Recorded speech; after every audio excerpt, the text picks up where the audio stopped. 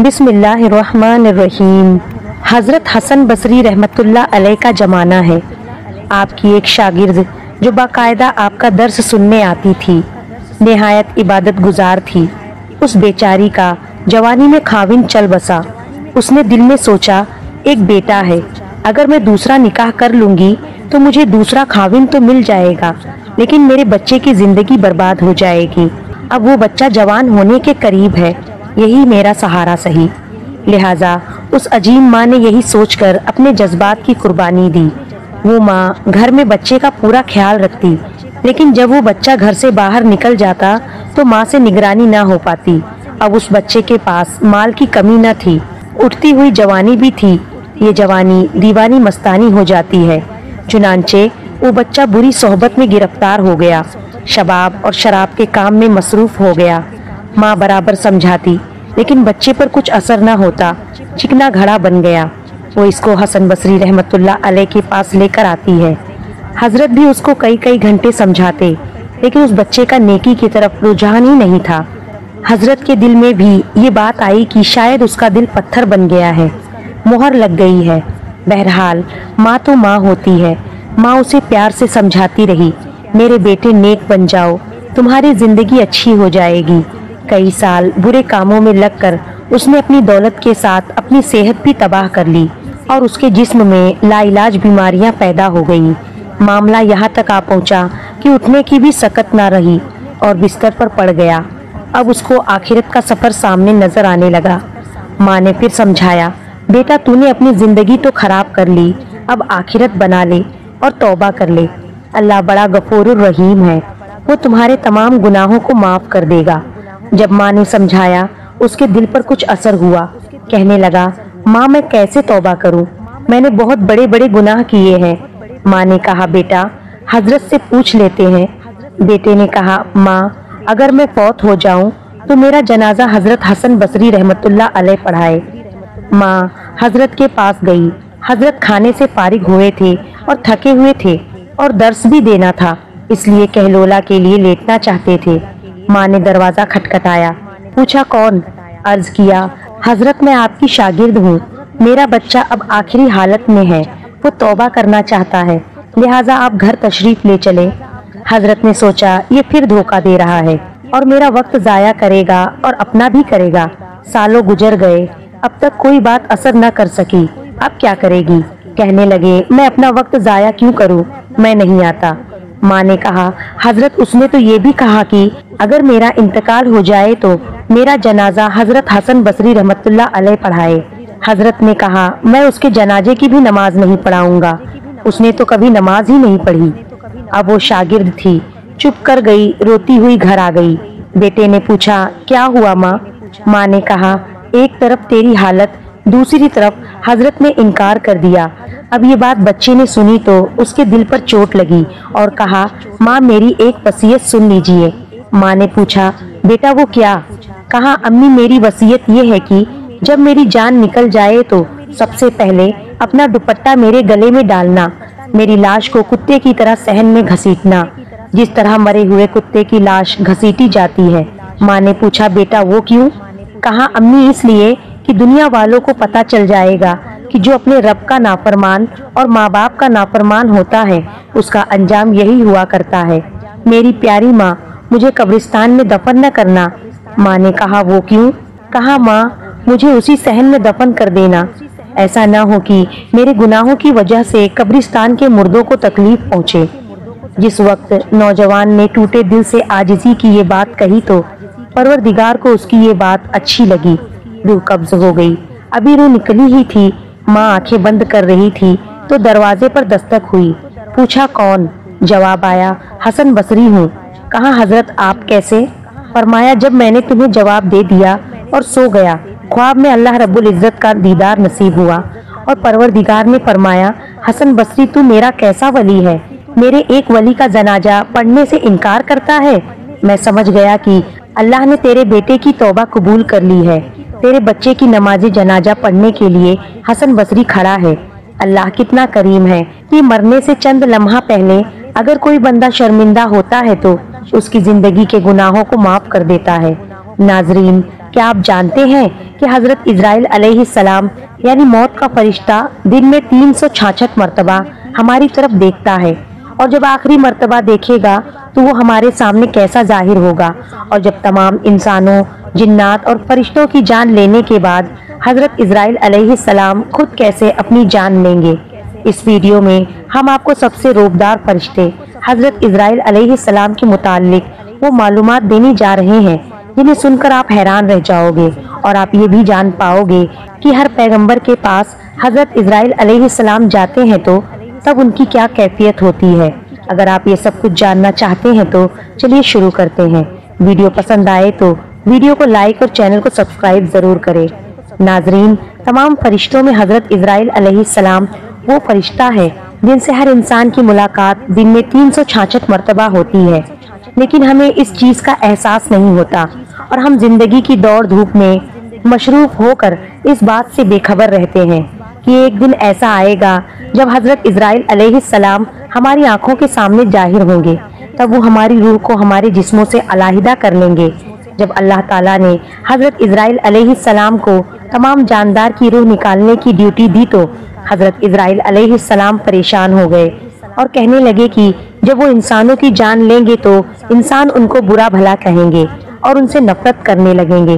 तब अल्लाह ताला ने फरमाया कि मैं अपने बंदों और तुम्हारे दरमियान मुख्तलिफ़ हादसा बीमारियों, वबाओं और तबाहकारियों को लाकर खड़ा कर दूँगा कि जब तुम किसी इंसान की जान लोगे तो वो तुमसे शिकवा नहीं करेंगे। मेराज की रात जब हज़रत मोहम्मद सल्लल्लाहु अलैहि वसल्लम को हज़रत जिब्राइल सलाम मौत के फरिश्ते के पास ले गए और आप सल्लल्लाहु अलैहि वसल्लम से कहा कि ये मौत का फरिश्ता है, जिसके चेहरे पर आज तक मुस्कुराहट नहीं आई।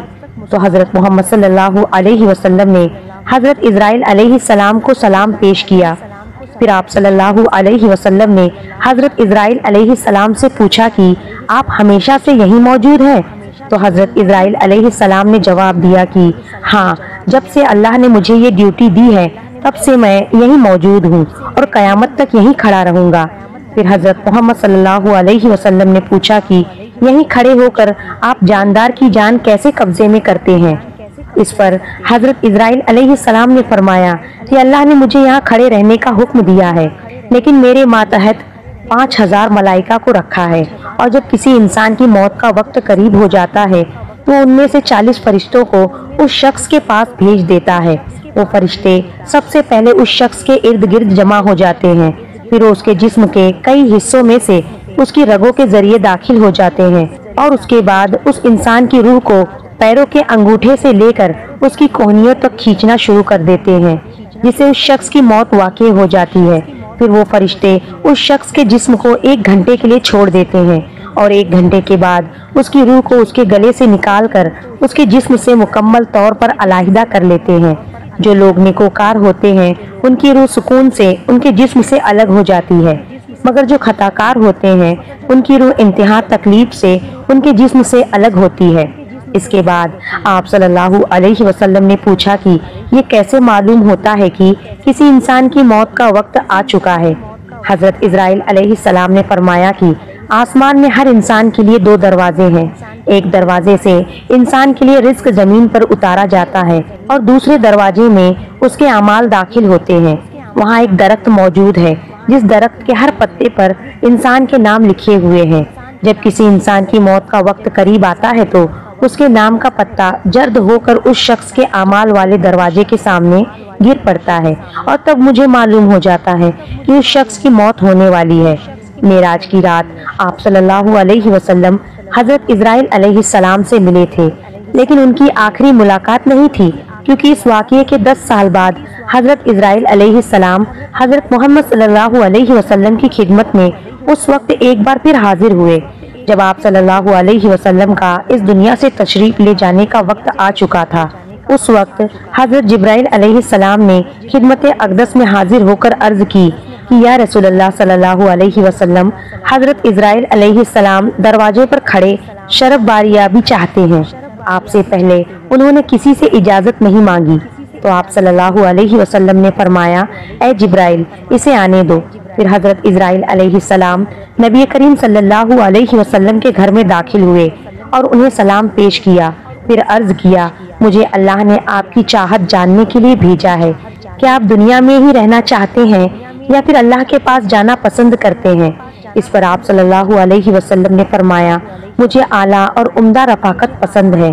फिर हज़रत इसराइल सलाम आप सल्लल्लाहु अलैहि वसल्लम के सराने खड़े हुए और कहने लगे कि, ए पाकिज़ा रूह, ए मोहम्मद बिन अब्दुल्ला की रूह, अल्लाह की रजा और खुशनुदी की तरफ़ रवाना हो, राज़ी हो जाने वाले परवरदिगार की तरफ़, जो गजबनाक नहीं।